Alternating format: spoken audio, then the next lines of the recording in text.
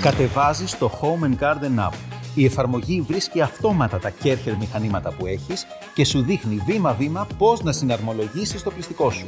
Στη συνέχεια το συνδέεις με το κινητό σου αυτόματα μέσω Bluetooth, κάνεις τις ρυθμίσεις που θέλεις και διαλέγεις αυτό που θέλεις να καθαρίσεις, ας πούμε το αυτοκίνητό σου. Στο Application Manager βλέπεις όλα τα βήματα καθαρισμού, ρυθμίζεις την πίεση από το κινητό σου και καθάρισες.